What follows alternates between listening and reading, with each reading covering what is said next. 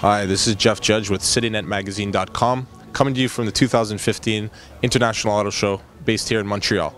We're here at the Circuit Electric booth. Um, I like showcasing this stuff because this is advanced thinking, future thinking, green thinking.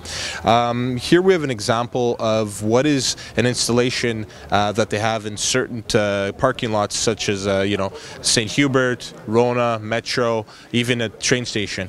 So you can basically park your car, and for a 200, 240 volt charge, which takes is, is, sort of like charging your car at home.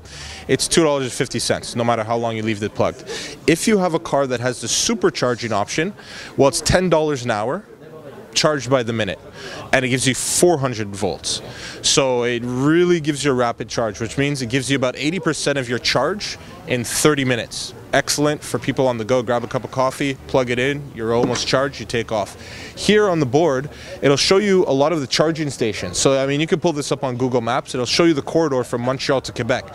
So you know I'm figuring uh, if Montreal Quebec is about 300 kilometers you have one two three four five six so you're looking about every 50 kilometers or so, you have a charging station, which gives you uh, sort of confidence to drive long distances. As before, uh, people had range anxiety with these vehicles. So I'm happy to announce that Hydro-Quebec is taking the initiative to promote this kind of green, efficient technology uh, and making it more accessible to the masses.